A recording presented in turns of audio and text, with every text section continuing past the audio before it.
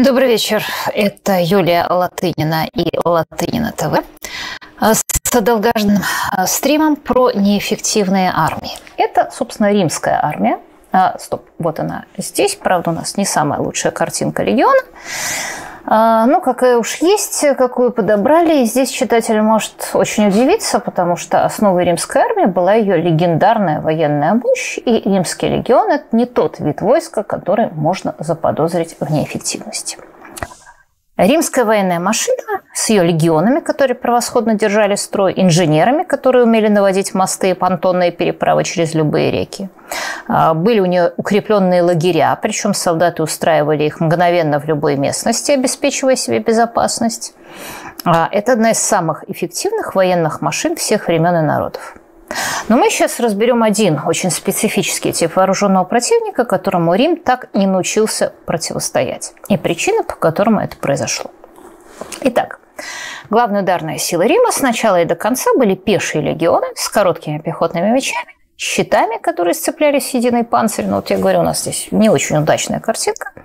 И плюс железная дисциплина – на конях римляне воевать не умели и не любили, несмотря на то, что следующее по знатности за сенаторами сословие называлось «садники», коня чаще всего использовали только для того, чтобы доехать до места битвы. Конные отряды в армии республики были вспомогательные войска из союзников, сирийцы, арабы и так далее. А у римлян было множество уважительных причин сражаться пешком, и самое главное, мы опять возвращаемся к азам социальной организации. Общество устроено так, как устроена его армия. Республика – это социальный строй, созданный для обеспечения гражданина-пехотинца, точно так же, как феодализм – это социальный строй, который, а, основе которого лежит тяжело, тяжело вооруженный всадник. Римская пехота была неотделима от Римской республики. А когда воины из граждан превратились в наемников, республика превратилась в империю. Я уже об этом говорила, что вот, как ни странно, демократия и а, тоталитаризм, и демократия, и всеобщая бюрократия, они могут превращаться друг в друга с точки зрения военной, но по-прежнему а, опиралась э, империя на пехоту, пехота не дисциплина. Еще раз, вот пешая дисциплинированная армия, удивительная особенность, порождает либо республику, либо тоталитаризм. Э, в Китае армии тоже были пешие и дисциплинированные. До Китая мы еще дойдем. Не знаю, в этот ли раз, но постараемся. Кроме того, римляне носили штанов. Без штанов на коне ездить некомфортно. Штаны, собственно, это и есть одежда конника. А, как я уже сказала, значение самого коня как ударной военной силы в древности было, несомненно, меньше. Я уже говорила о том, что еще где-нибудь в 13 веке до нашей эры на коне в бою просто нельзя было сидеть, можно было только запрячь в колесницу.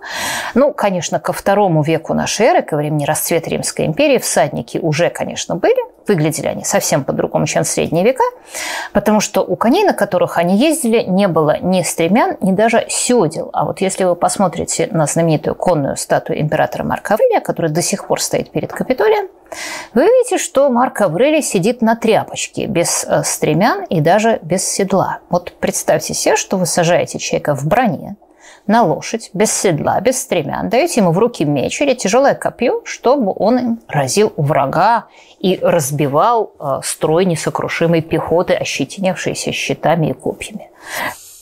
Но вот с первым же промахом он просто сверзится с коня. Без стремян и седла тяжелая конница невозможно. Возможно только легкая конница, вооруженная луками. Вот такая вот. А, и парфяне, главные противники римлян на Востоке, как раз они, собственно, опирались на легкую конницу, которая в условиях пустыни и полупустынь Ближнего Востока имела над легионом существенные преимущества. Такая конница за день легко проходила большие расстояния, она легко отрывалась от преследования, она осыпала издали пешего легионера стрелами, не давая ему приблизиться. И в то время как пехота страдала от жажды и веса доспехов, эта легкая конница держалась на почтительном расстоянии, осыпая противника стрелами. Вот в германских лесах легионы неумолимо наступали, вырубая лес, устраивая правильные лагеря, а в Месопотамской пустыне лагерь-то зачастую было не из чего строить, просто не было достаточного количества деревьев, э, чтобы, если чего, срубить. И вот первое прямое военное столкновение римской пехоты и парфянской конницы произошло в 53 году до нашей эры при Карах и кончилось сокрушительным разгромом римлян. Тогда легкие парфянские лучники просто расстреляли издалека римские легионы, которые задыхались на раскаленном песке. Вот как описывает битву при Карах Плутарх. Парфяне, разомкнувшись, начали издали со всех сторон пускать стрелы, почти не целясь. Римляне стояли так скучно и тесно, что и умышленно трудно было промахнуться, круто сгибая свои тугие большие луки и тем придавая стреле огромную силу удара.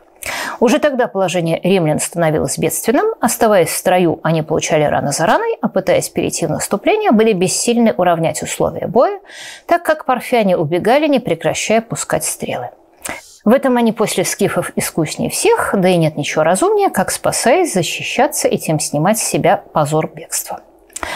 А Крас тогда погиб, э, начальник римского войска. Спустя 20 лет Марк Антоний, известный триумвир, несчастливый соперник Октавиана, вздумал взять реванш. Снова его пехота на жарком каменистом востоке в сухую проиграла парфянским лучникам что, собственно, и предрешило его дальнейшее поражение в войне с Октавианом. И вот в лице Парфии римляне столкнулись с противником, чье принципиально другое общественное устройство опиралось на принципиально другой метод войны. Как я уже сказала, Римская республика выросла на пеших войнах, они воевали и голосовали. А Парфянское царство было наследником легких конных лучников, которые впервые появились э, в евразийских степях, заселенных тогда в основном индоевропейцами. И римские города, они были какой по планировке квадратные. Они повторяли собой схему римского пехотного лагеря. А парфянские города, они были круглые. Почему? Потому что они повторяли схему военного лагеря, кочевого, составленного из стоящих кругом повозок. Соответственно, гигантская разница в военной организации соответствовала гигантская разница в общественном устройстве, потому что римляне продолжали считать себя республикой. Римская знать а, могла командовать а, войсками, но она не была отдельным а, родом войск. Римская э, но она не была отдельным родом войска, а парфянская знать именно, что была отдельным родом войска. Потому что если большинство парфянских свободных воинов были легкие лучники, то знать как раз представляла из себя тяжеловооруженную конницу, то, что римляне потом а, называли клебанария, греки называли это клебанофоры, и то и другое было испорченным заимствованием а, персидским а, гриф а, банар, то есть носитель кольчужного оплечья. Вот римские сенаторы, они сидели в Риме, а парфянская, знать, она сидела по своему делам, она командовала частными армиями, в любой момент готова была взбунтоваться против Шахеншаха. И надо сказать, что Римская империя, в конце концов, научилась одерживать победы над парфянами, потому что завести войска дополнительное из э, легких конников было несложно. Император Троян, потом Марк Аврелий дважды брали Ктизифон.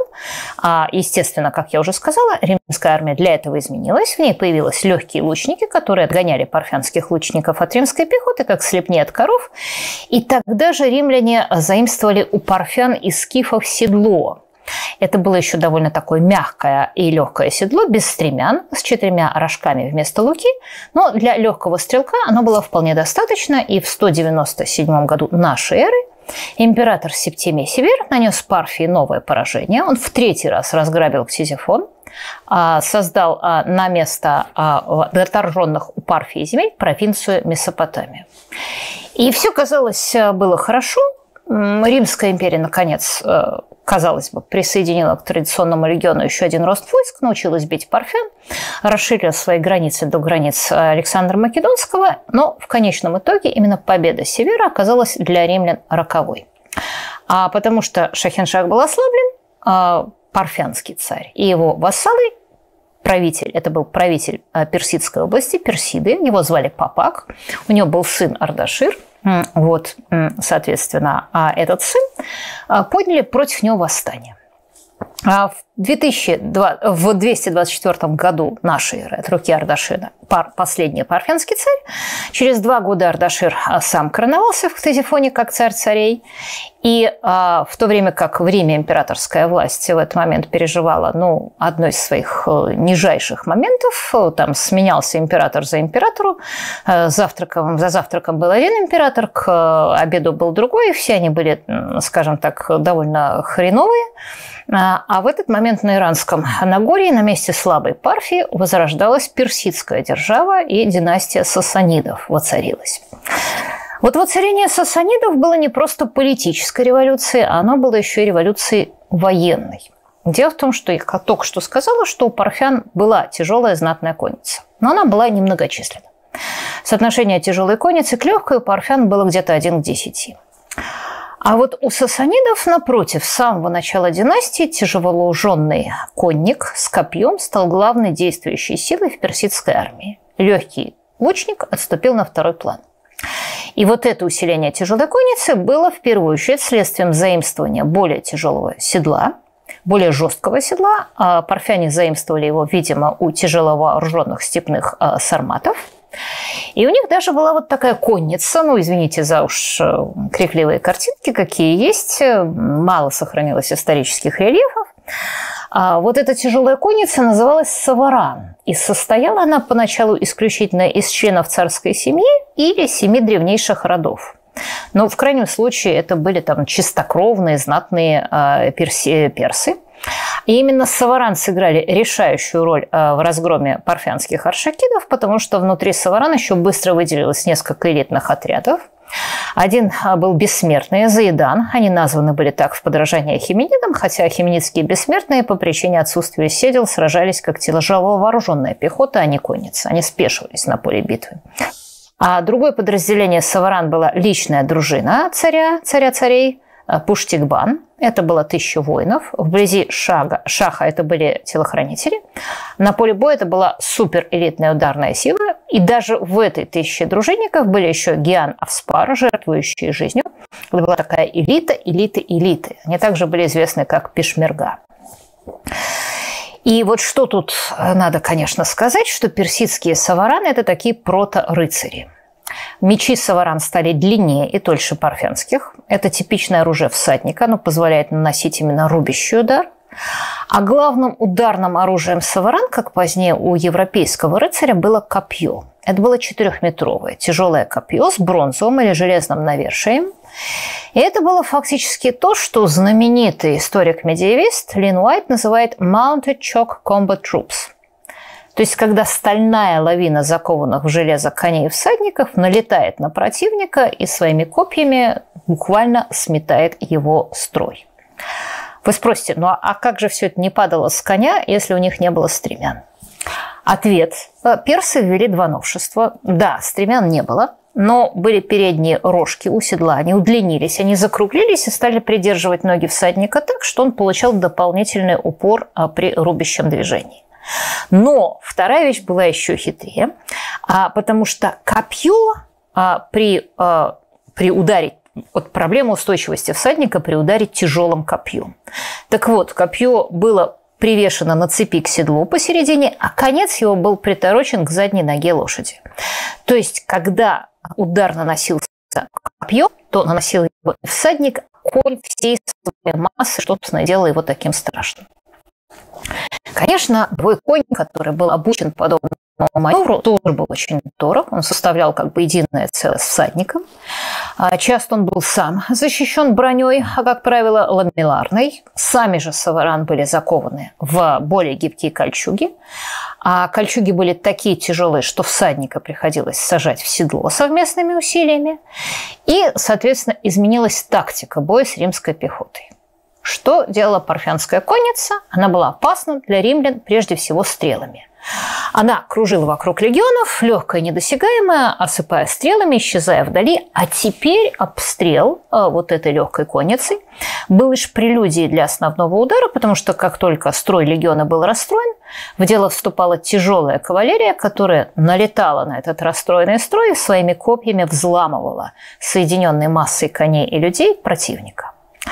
И с того момента, когда тяжелые персидские всадники сменили легких парфянских лучников в качестве главной боевой силы на Востоке, Римская империя перестала на Востоке одерживать победы и начала терпеть поражение за поражением. Но проблема была в другом. Проблема Рима заключалась в том, что если легкую кавалерию, выросшую из республики упорядоченная империя, могла создать без труда. Ну, подумаешь, ну да, набрали людей, научили их э, стрелять из лука, ну да. А с тяжелыми всадниками было гораздо сложнее, потому что это был не просто род войска, а образ жизни. А персидские саваран, как я уже сказала, были не солдаты. Это были родовитые воины. Как европейские рыцари тысячу лет спустя, они выясняли отношения в поединках, было очень популярное дело, шли в бой не под казенными знаменами, а под личными гербами. Сама тактика Саваран, ударной тяжелой боевой конницы, она ставила на первый план не дисциплину, а противоположное воинское качество – индивидуальную доблесть и смекалку. И для того, чтобы создать такое же войско, римлянам надо было не просто переделать армию, надо было переделать все общество. Надо было построить армию не на железной дисциплине солдат, а на личной доблести знати. А вот общественное развитие империи в этот момент шло в противоположном направлении. Потому что влияние образованной, блестящей культурной римской знати в это время, о котором мы идем речь, 3-4 век нашей эры, резко снижалось. Власть перешла к солдатским императорам. Они были выходцы из социальных низов, из географических окраин. Никаких наследственных владений эти люди не имели. Конечно, их главная была задача не укрепить знать, которая имела такое владение, а напротив всячески ее уничтожить, ограничить доступ знати римской, в том числе сенаторов в первую очередь, к военным и гражданским должностям. Рим стремительно в этот момент становился не феодальным, а тотальным обществом э, с низкоквалифицированной, но беспощадной бюрократией, которая была представлена императорскими евнухами и вольноотпущенниками, и чем доблестнее знать, тем она своенравней. А новые римские солдатские императоры не могли этого допустить. И вот, конечно, рыцари феодальной Европы потом, спустя тысячу лет, имели куда больше общего с персидскими саваран, чем с армией Рима.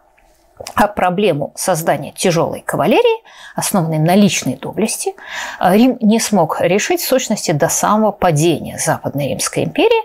Ну да, мы сейчас тоже можем вдаваться в некоторые подробности, говорить, что отчасти такие войны, такие войны были в распоряжении Велизария, который что-то там сумел перестроить, но это мы углубимся в очень специфические проблемы. Но в принципе, э, немножко лихо обобщая, можно сказать, что до самого краха империи в 1453 году уже в Восточной Римской империи, она так и не осмелилась употребить в качестве главной боевой военной силы тяжело вооруженных всадников, которые в обмен на военную службу и личную клятву верности сюзерену получают право собирать налоги и творить суд в своих владениях. И повинуются этому сюзерену только тогда, когда он может их к этому принудить. Опять же, несколько лихо обобщая, мы можем сказать, что бывшая Римская империя, а ныне тоталитарная Византия, предпочла исчезнуть, нежели допустить такую самостоятельность воинов. А мы переходим к моей любимой теме.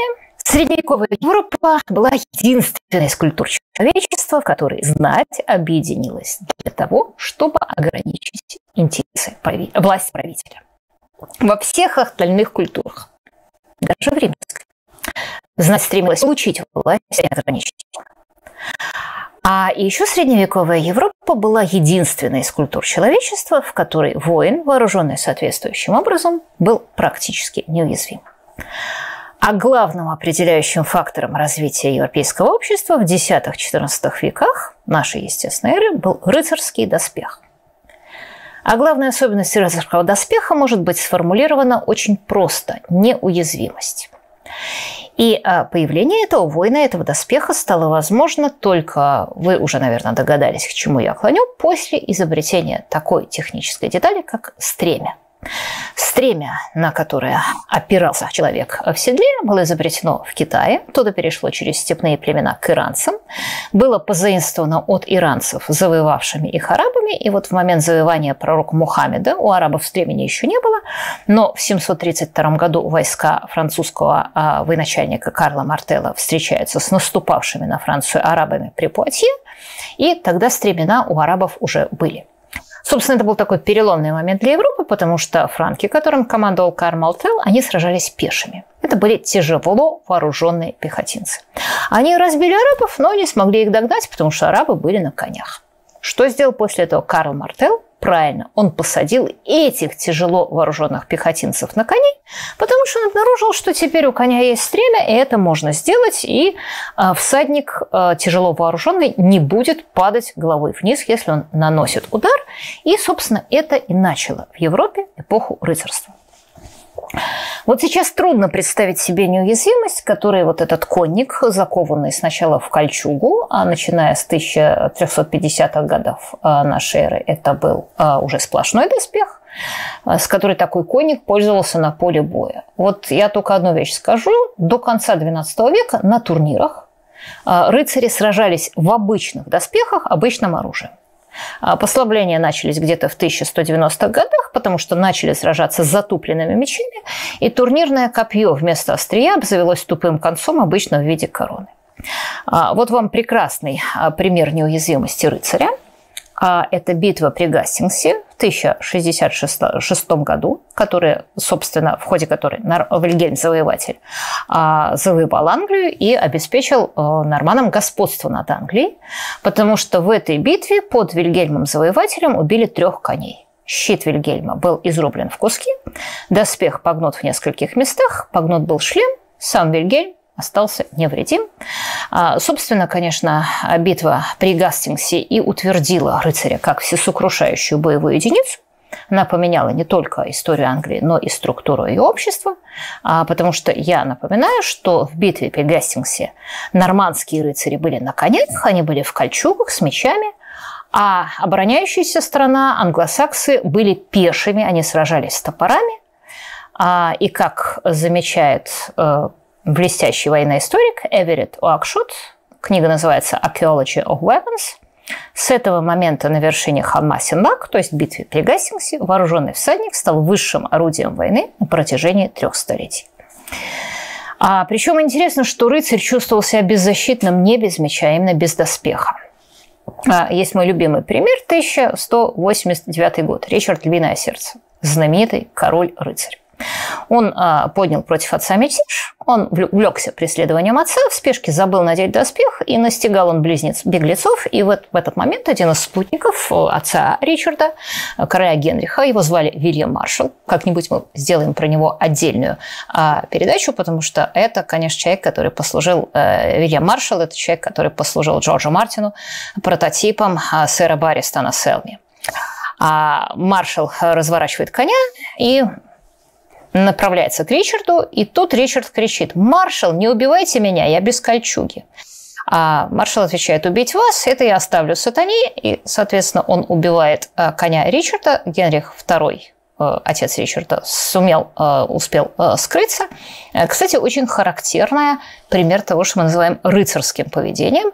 Абсолютно, казалось бы, контринтуитивным, особенно для современной войны. Но вот представьте себе вот эту вот сценку в любой современной войне – когда вместо того, чтобы убить противника, а, вы просто демонстративно а, демонстрируете ему превосходство, убивая там, его коня или уничтожая его средства передвижения. Но это просто немыслимо. А причина, по которой это произошло, и сплошь и рядом происходила, мы а, разберем чуть позже. А вот неуязвимость рыцаря, она привела к превращению войны в спорт. Очень жестокий вид спорта, вроде автогонок или прыжков с парашютом. А, да, в нем можно было потерять жизнь, но это только придавало пикантности ощущениям. Рыцаря в доспехах было трудно убить. Однако, благодаря самой физиологии человека, его было легко взять в плен. Ну, посмотрите на рыцаря, у него на голове большой железный горшок, рассечь его трудно, бить по нему мечом, а лучше боевым молотом, а так, чтобы противник ушел в нокаут, ну, достаточно легко. А можно, опять же, выбить рыцаря из седла, Значит, доспех весит 20-25 килограмм. Ну, представляете, как после такого падения подниматься? Ну, скорее всего, у человека в этом горшке звезды мелькают перед глазами. И в результате война превращается в компьютерную стрелку. Тот, кого выбили из седла и взяли в плен, платит выкуп и вновь возвращается к началу игры. Война превратилась в турнир, турнир превратился в войну. А, кстати, я здесь а, даже а, хочу а, напомнить, что первоначальной формой турнира а, был не жуст, то, что называется вот по кинофильмам у Джорджа Мартина в «Игре престолов» мы видим вот эту шибку на копьях, когда всадники скачут навстречу друг другу. А, так вот, первоначальная форма турнира была не вот такая шибка на копьях, а она называлась «меле». Это схватка двух команд, а, которая распадалась обычно на серию индивидуальных поединков, и фактически она точно копировала обстоятельства рыцарского боя. А вот жуст, он появляется с середины XIII века, а, разделительный барьер между рыцарями, который служит, э, предотвращает лобовые между ними столкновения, как барьер между двумя полосами скоростного шоссе, он вообще появляется в начале 15 века. То есть в 12 или XI веке турнир – это точная копия рыцарского боя, отличается от этого настоящего боя только двумя обстоятельствами. Во-первых, он происходит в запланированное время в запланированном месте, а во-вторых, на турнире было строжайше запрещено убивать коней, они были просто очень дорогие. То есть это были такие военные учения с применением боевого оружия. И так же, как в бою, основная цель турнира – набрать себе как можно больше пленников с дорогим оружием и конями. Так же, как в бою, побежденные на турнире решаются оружие и коней. Так же, как в бою, они платят выкуп. И так же, как после боя победителя, После турнира пировали в одном шатре с побежденными. А, собственно, от руководителя команды э, в турнире требуются совершенно те же самые качества, что от командира рыцарской армии. Это умение экипировать свою команду, внушить веру в лидерство и организовать относительное, подчеркиваю, относительное боевое слаживание групп, а, потому что, как я уже сказала, рыцарская доблесть в любом рыцарском бою, она все-таки значит и, рыцарь, и личная рыцарская тренировка, личное индивидуальное умение, она э, рыцари не держит строй, в отличие от римского легиона. Но, конечно, в бою, как и на турнире, проигравший по правилам должен был оставаться в живых, потому что иначе терялся весь смысл мероприятия. Ну, кто же будет уплачивать выкуп, если вместо пленника труп? И вот тут мы подходим к главному а, важной э, вещи, которую, а, которую мы обсуждаем, потому что для того, чтобы проигравший оставался в живых, нужно было еще кое-что, кроме доспеха, а именно набор правил, который предписывал щадить сдавшегося противника. Этот набор правил и назывался рыцарством. Самый пример видимо, маршала – который в абсолютно критической для его сюзерена ситуации, да, вот он должен был убить человека, который взбунтовался против его сюзерена и покончить тем самым с войной. А он вместо этого говорит, да нет, ну раз на вас доспехи, но нет доспехов, я вас убивать не буду, это не спортивно. А, и, соответственно, в XIX веке но слово «рыцарство» вызывало скорее насмешку. Ну, так какое-то нелепое поведение, непрактичная Дон Кихотовщина. А, кстати, Дон Кихот Сервантиса был написан, когда рыцарский свод правил вышел из кутюмов. Ну, зачем щадить врага, если можно его убить? И даже как-то казалось, что, может быть, ничего такого не было. Это просто какие-то глупые слова в рыцарских романах, которыми зачитывался Дон Кихот Ломанческий. Но как раз самое поразительное в рыцарстве – это то, что, э, да, рыцарское отношение к противнику не просто существовало на самом деле, как мы разбирали в случае с Вильямом Маршалом, оно имело исключительно прикладной характер. Что оно значило? Оно значило, что если вы сражаетесь в войне и попадаете в плен, вас не называют ни боевиком, ни нацистом, не рассказывают про вас, что вы сами уничтожили Мариуполь, что вы идите на завтрак детей, не требуют признаться в этом на суде. А вместо этого вас в замке вашего победителя сажают за стол, и человек, который вас взял в плен, собственноручно подносит вам еду. А потом вы можете уехать по честное слово, что соберете выкуп и даже вернуться обратно в плен, если вы выкупа не собрали.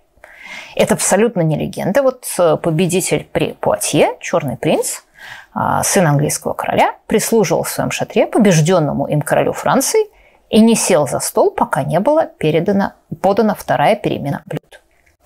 А вот еще одна история, она очень мне нравится, а, май 1265 года.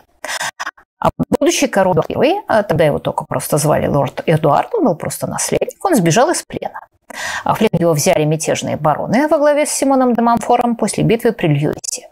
Ну и при слове «бегство из плена» обычно представляется ну, что-то вроде героического побега Дантеса из замка Ив. А как бежал Эдуард?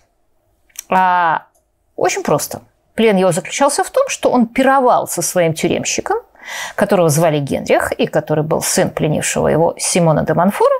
И, соответственно, мало того, что пировал, он еще участвовал в охотах и конных прогулках. И вот на одной из такой прогулок молодые люди затеяли скачки, чтобы отприлить, какой из коней самый быстрых. Самый быстрый. Ну, когда лорд Эдуард нашел самого быстрого коня, он вскочил на него и был таков. Ну, вот Представляете себе, да, там а, Путин а, принимает э, командиров э, Азова в своем поместье, где-нибудь в одном из своих дворцов, они вместе едят, они вместе пируют, а потом они, значит, начинают э, смотреть, какой из спортивных самолетов перед дворцом летает быстрее. И, значит, когда определяют, какой именно из самолетов летает быстрее, соответственно, командир Азова в него садится и улетает. Вот примерно так, если в переводе на современный язык. Еще раз, это не единичная история, вот просто есть множество аналогичных случаев. Но вот в хрониках Фурасара описан случай, когда два рыцаря в безлюдном лесу встретились в поединке. Один победил другого, забрал, соответственно, другого в плен, а после этого они разъехались под обещание пленника доделать домашние дела и вернуться к своему победителю. А, конечно, это не характерно для многих культур, причем даже для тех, кто высоко ставил рыцарскую доблесть. Вот Цезарь не прислужил взятому им в плен Верцингетариксу. Или там самурай, который в Японии попал в плен, участие в турнирах не грозило. Ну вот о Путине даже и не будем говорить. И, как я уже сказала, такое поведение может казаться контринтуитивным, но на самом деле это оптимальная стратегия военного выживания. Ты чешешь спинку врагу, чтобы враг почесал спинку тебе. Если все рыцари, которых берут в плен, ведут приятную жизнь и отделываются с штрафом, то да, война превращается в спорт. В обществе достигается уникальный баланс между агрессивностью, свойственной молодым, рвущимся к повышению брачного и социального статуса самцам, и опустошением, причиняемым этой самой агрессивностью. А в самом обществе развивается то, что известно как европейский классический феодализм, то есть когда государства нет, власть короля опирается на постоянную спортивную вражду между его вассалами, которые иногда воюют между собой – иногда даже восстают против сюзерена. Причем сюзерен не имеет их права за это казнить, иначе он потеряет поддержку других вассалов. Вот это важная деталь, что сюзерен имеет право подавить мятеж, но не имеет права казнить знатных мятежников.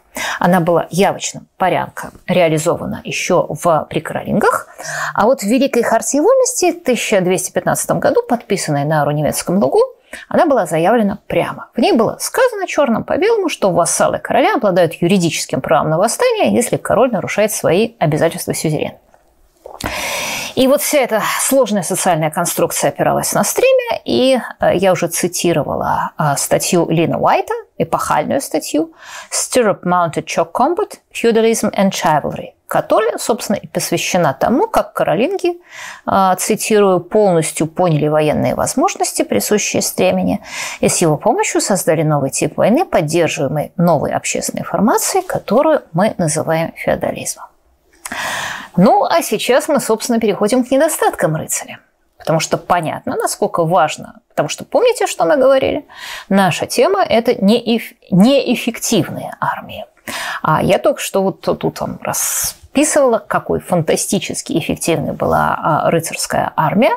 А, и, кстати, конечно, видно, что я к ней неравнодушна, потому что речь идет не только о эффективности с точки зрения военной, но и о начале европейских свобод которые сначала были доступны только для небольшого а, количества привилегированных людей. А, кстати говоря, рыцарские правила, естественно, не распространялись на простолюдинов, в которых, наоборот, во время рыцарских а, войн убивали и просто вот то, что называлось шиваше, это как раз был такой опустошительный поход по владением противника, он подразумевал предание всего, что не является рыцарем огню и мечу, э, с целью ослабления его противника экономической базы. А, так что это не то, чтобы средь, только средь, через розовые очки надо глядеть а, на рыцарей. А вот, кстати, у Джорджа Мартина это тоже очень хорошо показано, когда, помните, э, Грегора Клегейна отправляют именно в такой опустошительный поход, и это никак не противоречит рыцарской доблести, это никак противоречит правилам а, вежества.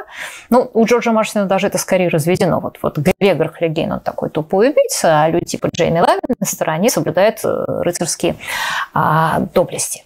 А на самом деле фишка заключалась в том, что Джейми Ланнистер и Грегор Хагейн, они обычно существовали в одном и том же лице. Человек, который собственноручно а, прислуживал знатному пленнику, этот же человек э, предавал огню, мечу и пожару, и насиловал, и убивал, э, соответственно, крестьян э, этого своего знатного пленника. Но Понятно, насколько важно для европейской знати и для рыцарей было сохранить подобный общественный строй, ведь он давал почти неограниченные возможности. Вот на Востоке, в Китае или в империи Ромеев в Константинополе власть самодержца была ограничена только удавкой. А, и, соответственно, там любой самостоятельный местный правитель представлял собой грандиозную опасность для трона. Феодальный строй, наоборот, инкорпорировал этого самостоятельного местного правителя. Он лишал короля части власти, он ограничивал возможности для произвола, но он многократно увеличивал степень свободы в обществе. И если армия Китая или Византия держалась на дисциплине, то армия феодальной Европе держались на личной рыцарской доблести. А еще раз повторю, рыцарство был очень свободолюбивый общественный строй. Его роль в создании свободы Европы не может быть переоценена, потому что этот строй погиб с появлением огнестрельного оружия, но погибая, он породил другой могучий слой военной аристократии, без которой новые европейские военные государства сползли бы в пропасть деспотии. Но теперь посмотрим на вопрос с другой стороны. Насколько эффективны были рыцари и насколько далеко они были готовы зайти, лишь бы сохранить порожденный стременем и броней общественный строй. И ответ очень далеко. Иногда им проще было проиграть войну, даже погубить устроенное имя государства, нежели пересмотреть свой подход к родам войск. Вот классический пример – это латинское Иерусалимское королевство. Оно было создано, напоминаю, в результате крестового похода это было такое образцовое рыцарское королевство. Короля в нем избирали. Вся земля в королевстве была отдана баронам. Единственные военные силы королевства были рыцари в тяжелых доспехах. А появление а, каких-то а, там других военных сил в распоряжении короля было просто исключено. А проблема, конечно, заключалась в том, что театр военных действий, на котором существовало Латинское Иерусалимское королевство, был плохо приспособлен под рыцаря. Там было жарко – этот театр военных действий представлял из себя, особенно летом, раскаленную равнину, поросшую колючками. Это очень хорошее пространство для действий легкой конницы. Хорошо, мы видели, что э, в ней хорошо действовали персы, э, смесь тяжелой конницы с легкой конницей, а совместно с легкой конницей, как в случае персов, тяжелый всадник на этом театре военных действий представлял из себя сокрушительную военную силу. Без легкой конницы он был очень уязвим, и вот то же самое, что случилось с римлянами под карами, ну, почти то же самое, потому что римляне были пешие, а значит, а, в 1800, 1187 а, году под Хатино а, с крестоносцами, которые были, конечно, на бронях, но на конях, но под тяжелой броней, случилось под Хатином, лучники Саладина просто издали расстреливали этих рыцарей – а те гибли от жары и жажды в своих раскаленных на солнце доспехов. Как только рыцари пытались а, преследовать легких лучников Саладина, оказывалось, что кони легких лучников бегают гораздо быстрее. А, и вот вся история латинского Иерусалимского королевства – это история стратегического поражения тяжело вооруженного рыцаря от легкого арабского конника. Рыцари Иерусалимского королевства не могли этого не видеть. Но никогда они не сделали попытки придать вот своему немногочисленному рыцарскому войску многочисленную легкую конницу. Почему? Ну, потому что это бы погубило общественный строй этого королевства. Потому что исчезла бы непокорная знать, которая диктует свои условия Иерусалимскому королю, а остался бы восточный деспот, который может опираться на легких лучников. И вот другой пример. Креси и Пуатье. Как я уже сказала, рыцарь, так же как и танк, был неуязвим не при любых обстоятельствах, а только при строго определенных. Прежде всего, он был неуязвим против пеших англосаксов с боевыми топорами, или против голоногого крестьянина с серпом и цепом, или против необученных горожан. Ну, например, была такая битва под Касселем, где в 1328 году 2500 французских рыцарей а, разметали по полю 15 э, тысяч э, фламандских горожан, которые были вооружены сбору по сосенке. Вот тут у нас битва под Касселем даже есть на картинке. Даже, пожалуйста, включите эту самую картинку. Это, э, как я уже сказала, к вопросу, например, о 10 тысячах хорошо вооруженных украинских бойцов, которые прошли сейчас обучение в Великобритании, суперподготовленных, и сколько их навстречу бросят ну, очень мобилизантов. Ну, примерно тоже. Вот как в кассе. А, ну, конечно, масса способов брать плюс доспехов, которые даровала ему неуязвимость, минус. Например, был длинный лук, который мог подстрелить рыцаря, как это постоянно случалось с английскими рыцарями в Уэльсе. А, собственно, поэтому английская знать и не любила валийцев, она не считала их за настоящих воинов, потому что рыцарская война – это сшибиться с противником на полном скаку, выбить его из седла, получить выкуп. А тут, представь себе, едешь по каким-то болотам валийским, а тебе из-за коряги прилетает стрела. Никакого выкупа, ни веселья, никакой игры. А рыцаря мог а, отружить, отружить, отразить э, несокрушимый строй пехотинцев, который ощетинился пиками. А вот, например, а, швейцарские пикинеры или шотландский шильтрон была такая битва при Бенакберне, где случилось именно это – я, правда, не уверена, что нам подобрали правильную иллюстрацию, потому что, собственно, еще раз повторяю, да, тут я немножечко не досмотрела, потому что имеется в виду, как я уже сказала, именно несокрушимая стройка. Представьте себе а, щиты, да, из-за них пики, и конь вообще не способен физиологически атаковать ощетинившие острия. Но тут все дело в том, чтобы держать строй, для этого нужна отличная подготовка, твердая воля. А такие пикинеры, набранные из свободных, но бедных людей, не обладающих средствами для покупки рыцарской справы, а, кстати, особенно часто водились в Галах а, в Шотландии и в Швейцарии. И вот э, Англия, которая а, всегда имела сильное сословие свободных людей, она усвоила уроки своих валийских и своих шотландских компаний – и э, как раз э, со времени английского короля Эдуарда I лучники, э, как Робин Гуд, стали интегральной частью английской армии. И вот, например, в другой битве при Фолкерке в 1298 году они просто расстреляли этот самый шотландский шельтрон, а потом они расстреливали французских рыцарей при Креси, Пуатье и Азенкуре. Но вот э, англичане инкорпорировали а, лучников а, в свои войска и научились а, выигрывать битвы против абсолютно превосходящего противника. А вот французы за время Столетней войны, причем 69 лет прошло от Креси до Азенкура, когда и там, и там их расстреляли лучники, и французы не сделали этого. Почему? Потому что появление длинного лука означало появление целого сословия свободных людей, которые были воинами, но при этом не были рыцари. Э, соответственно, французские рыцари 70 лет предпочитали проигрывать битвы, но не менять социальной структуре общества. А, и хотя, конечно, конец рыцарям а, положило огнестрельное оружие, все-таки еще в начале XIV века было сразу несколько битв, где рыцарское общество, э, войско было разбито в дребезги.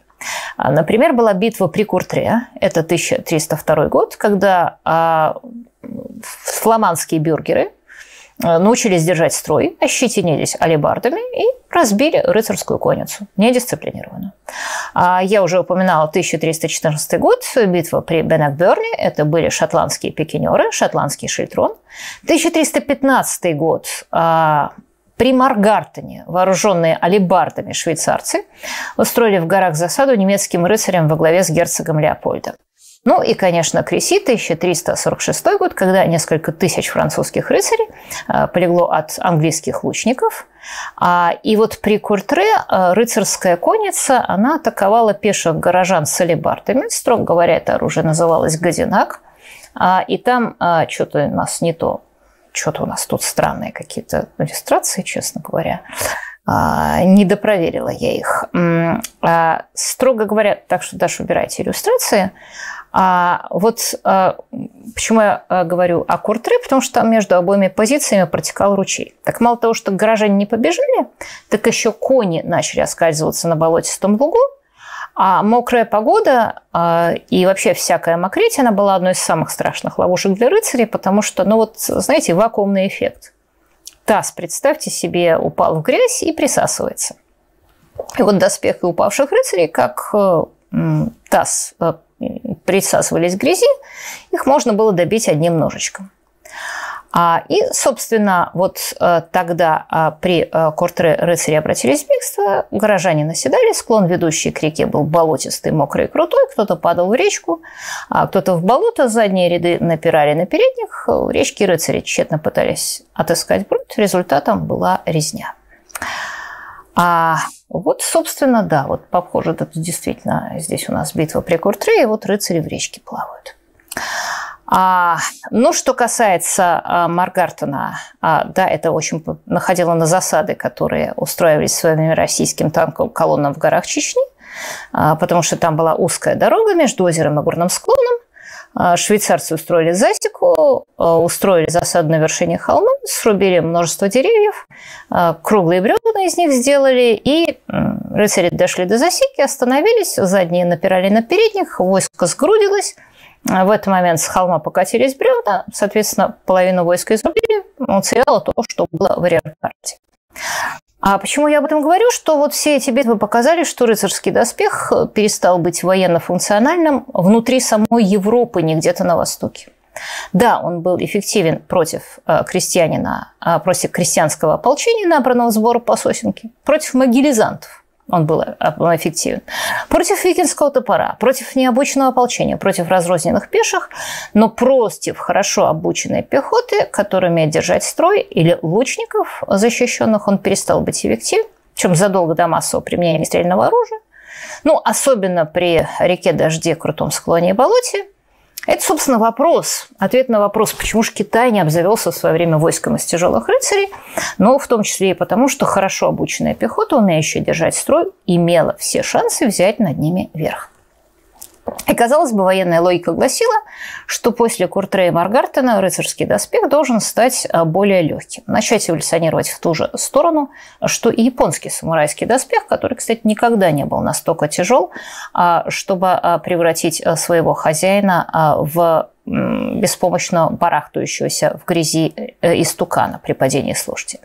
Но вот феодальная логика пошла в другом направлении. Рыцарский доспех стал еще тяжелее. Вот мы его видим на экране. А, это стал так называемый сплошной доспех. Вместо того, чтобы увеличить подвижность, правящая рыцарская верхушка увеличила неуязвимость. Вот как раз после Креси в течение буквально десятилетия кольчужный доспех был заменен вот этими сплошными коваными латами. И, собственно, а, речь идет об одной простой вещи. Несмотря на всю свою эффективность, Рыцарь вовсе не был идеальный способ выиграть войны. Преимущества тяжеловооруженного конника были относительны. Но это был образ жизни и способ управления страной, и доминировал он настолько, что люди, которые его вели, не могли отказаться от него даже в условиях, когда он приводил к прямой военной неэффективности. Например, французы после Креси, крестоносцы после Хатина, немцы после Мангар, Мар, э, Маргартена.